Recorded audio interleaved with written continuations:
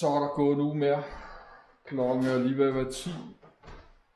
Jeg, øh, mine penge på min øh, kassekredit er blevet til rådighed. Så jeg købte sådan en Scenery, der hedder Salt Lake City i øh, USA. Som selvfølgelig ikke virker på den her. Men jeg købte et andet spil, der hedder Bus Simulator, hvor man skal køre bybus og med billetter og sådan noget. Det har jeg set på YouTube, det er mange år siden. Jeg sidder faktisk og optager en video nu, og lige prøver at se, jeg ved ikke rigtig, hvad det er for noget, jeg har købt. Jeg har givet 14 euro for det. Det er et scenery til det her Train Simulator, men jeg kan altså ikke øh, bare vælge det som øh, free room, som bare betyder fri, frikøring. Jeg kan ikke bare vælge det og åbne det og køre rundt og kigge. Og når jeg loader et eller andet scenarie, så øh, ser den helt underlig ud. Så ved du hvad, jeg lige skulle starte den der bus simulator op. Nej, det, de er mega dyre, de der scenery, de koster helt op til 35 euro. Det vil jeg altså ikke betale, det er nærmest 300 kroner. Jeg har kun 1000 kroner på min kaskredit, Og det er lige det, jeg snakker om. Jeg skal stoppe med at bruge penge på min kaskredit. Men øh, min Steam-konto er linket til øh, min kaskredit. Så det ser jo helt sygt ud, jo. Det her, sådan ser det ud, det jeg købte her. Så er jo helt godnat ud. Jeg ved ikke, hvad der er galt. Det ligner øh, fuldkommen åndssvagt, jo.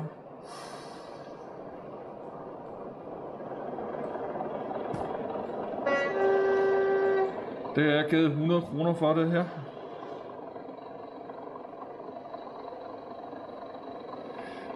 Men uh, kortet, det er som, som om, at det virker nok.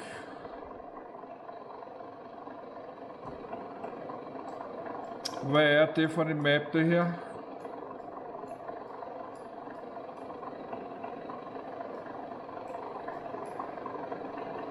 Jamen det er måske den der Salt Lake City her. Den er jo kæmpestor, men det er ikke noget, jeg kan ikke få til at virke.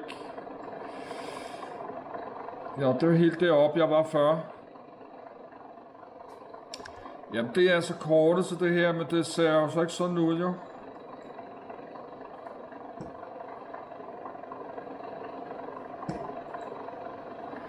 Det øh, ser sådan ud, så et eller andet øh, helt galt er der i hvert fald.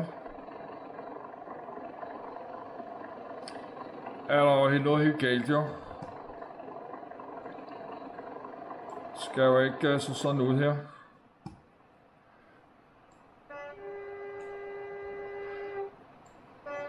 Ja, det har jeg givet 100 kroner for. Det er jo øh, helt til grin, ja.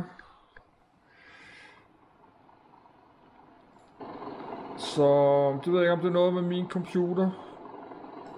At min computer er simpelthen ikke stærk nok til at regne det der.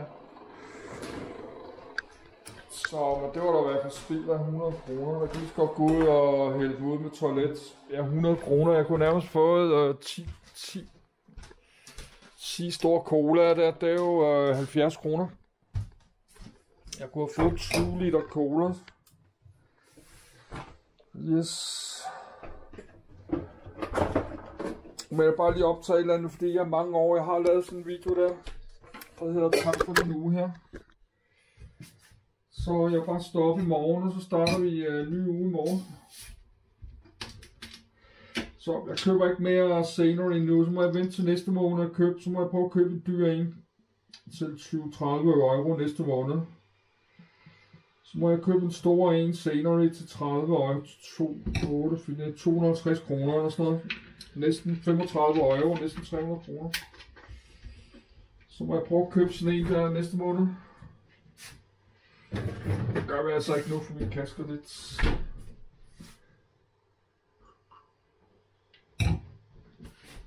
Jeg sidder faktisk og optager det på øh, video.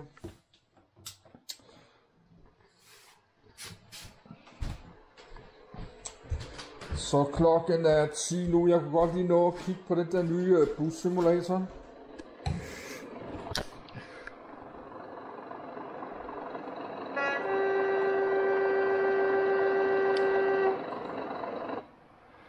Yes, der har vi mit flotte tog her. Men det ser jo, når jeg kigger på øh, mappet her, så ser man godt se, at der er et kort. Det vil så bare ikke loade ind i det her.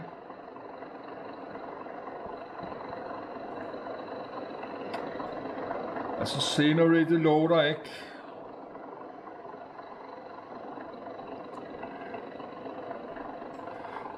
Yes, der må vi simpelthen uh, quit. Må vi simpelthen droppe det der, så simpelthen få slukket min uh, game video. Main menu. Yes, lad os få slukket det der lukket. Men uh, et eller andet købte jeg her, men øh, hvad det var, det er jeg ikke så lige klar over. Det var i hvert fald øh, 100 kroner.